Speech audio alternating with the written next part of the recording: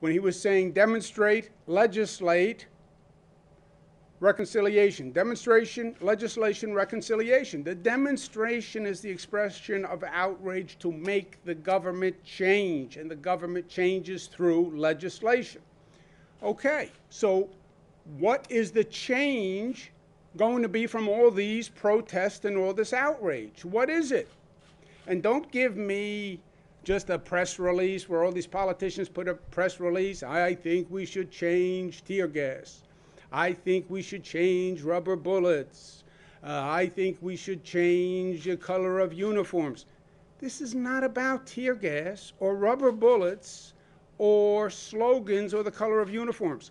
This is about making fundamental change to the system, and it's hard. And by the way, the system is going to push back. Don't kid yourself.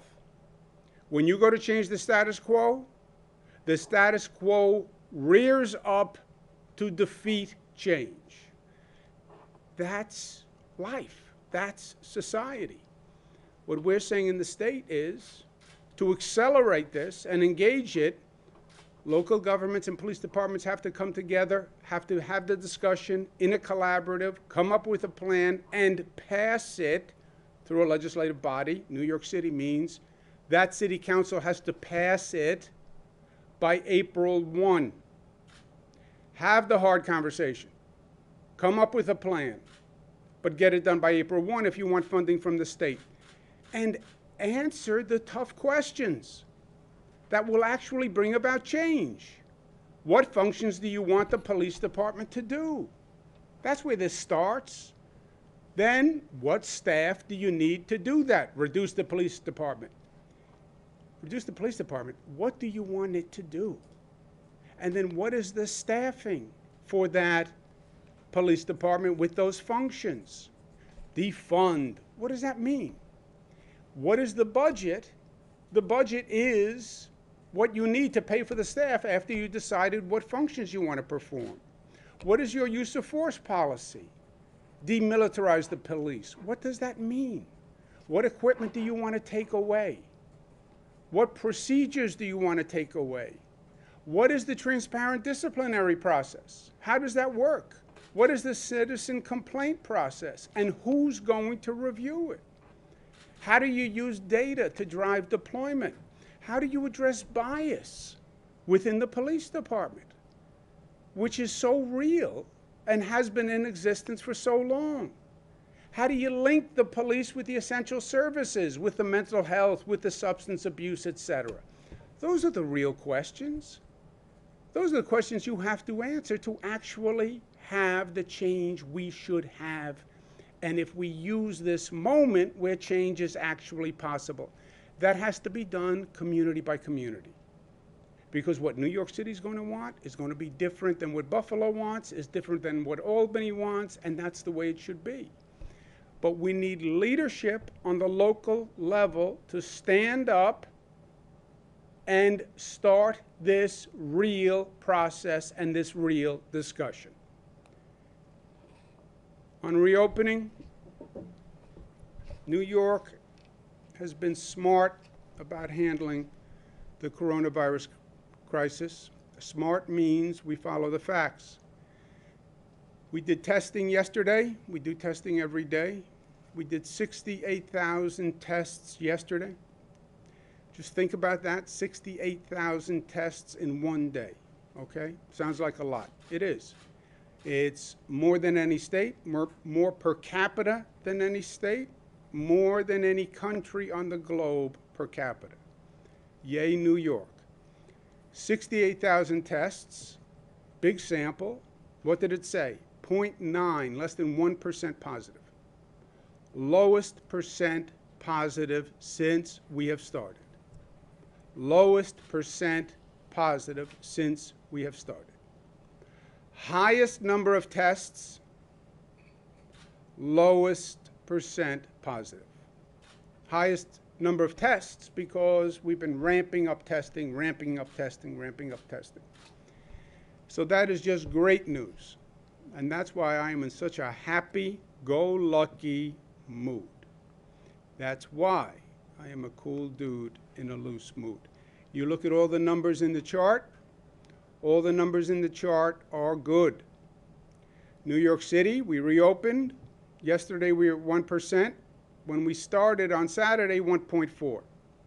So 1.4, 1.3, 1.2, 1.2, 1. Great. Great, great, great. Only caution sign across the state, central New York, 0.6, 1.3, 1.4, 1.1. How did you go from 0.6 to 1.3 to 1.4? Something happened. Maybe. That's right. So then we go back to the tracing function, which is up and running. Go trace the positives and see if they lead us to anything. They did. In central New York, Oswego, there is an apple manufacturing plant uh, where they take apples and they uh, process apples for sale. And there is a cluster of cases in that apple manufacturing plant, about 34 positives in one plant. That's bad news, but it's also good news. That's the way this is supposed to work. You see an increase in the numbers, you trace the increase. Does it lead anywhere? Were they at the same party? Are they, are they at the same employer? Were they at the same protest? In Oswego, they were working in the same plant. Get to that plant, address it. But other than that, all the numbers have been good. New York City, you see by borough, we can look at the numbers, and it's all been good.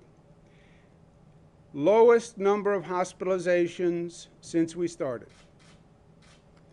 Amen. Number of deaths ticked up a little bit, but the overall curve is the lowest we have seen. So it is all good news all across the board. Our New York City uh, reopening, the way we do this, the way we've done it in every region across the state, is we compile all the data. When we get near the end of that phase, we have state officials review it, and we then have global experts review that data to make sure there's nothing in the data that we're missing. And we don't look at just the top line data that I show you. Not that you are not public health experts, also and statisticians and scientists, and you would be able to see things in the data. I believe that about you, Andrew, not Zach. We have global experts who look at the data, and uh, when they sign off, then I sign off. I do not sign off until they sign off. So they're reviewing the New York City data. It's supposed to go on Monday. They'll watch it Friday, Saturday, Sunday. They're studying it now. Uh, but all the indications are good. So I'm saying today uh, you'll get a final announcement tomorrow. But uh, I am saying businesses should plan on reopening. Uh, we just had a call this morning where we went over the New York City data, and everybody's feeling good. So uh, my advice to New York City businesses, plan to reopen Monday on phase two. Now, phase two is phase two.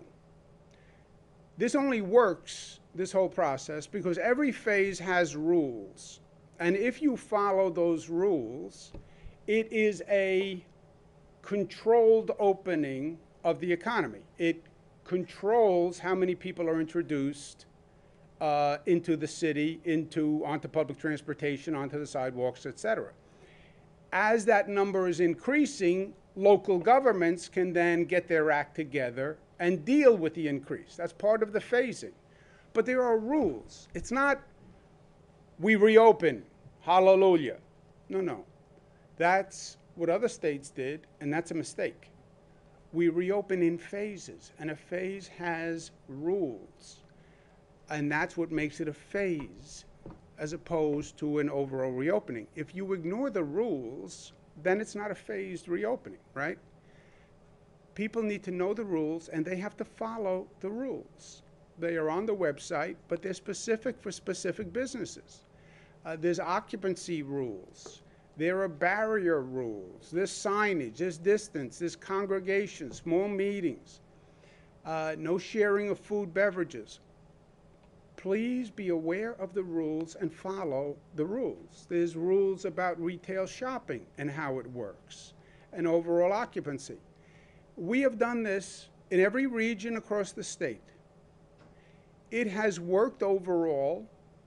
I can tell you from experience, it works better or worse depending on the compliance and the enforcement and how people follow the rules. The issue going into phase two or phase three is compliance by people and enforcement by local government.